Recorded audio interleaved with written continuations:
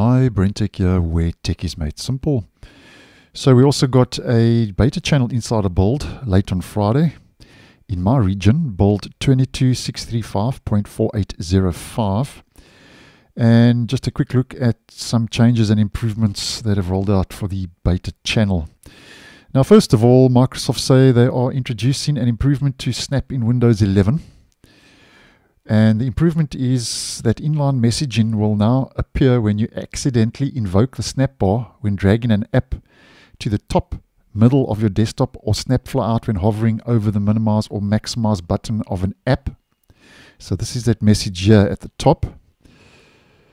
And this messaging is designed, they say, to provide guidance on snapping app windows and educating users on the keyboard shortcuts for quickly snapping app windows in the future.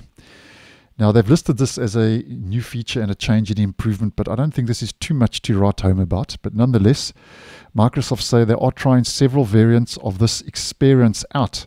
So, what we're looking at here is inline messaging as seen at the top of the Snap flyout. And then what we are looking at here is another variant. And this is inline messaging as seen at the top of the Snap bar. So, that's just two examples of what Microsoft is talking about. And then the next one also was returned in the dev channel build I posted on earlier today, and that video will be linked down below and in the end screen, where after being temporarily disabled to address some issues in a previous build, Microsoft is now beginning to roll out the new gamepad keyboard layout for the touch keyboard on Windows 11 once again. So um, this is still undergoing testing. Was in the stable version actually for a brief period, and then Microsoft pulled it. And this is actually has been met with quite a lot of positive reviews. So obviously Microsoft now trying to iron out those bugs before it's reintroduced into the stable version of Windows 11. And then they've also added new functionalities to narrator scan mode, which is an accessibility feature. And then the last change, just to mention for this video,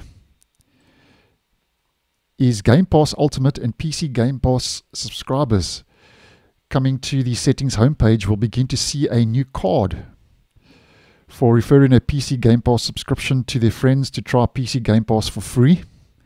This new card will only appear on the settings homepage if you sign into your PC with your Microsoft account and meet the required eligibility criteria according to Microsoft. So so not too much going on uh, in the beta channel for last week. One or two changes, but nothing really to write home about, so to speak.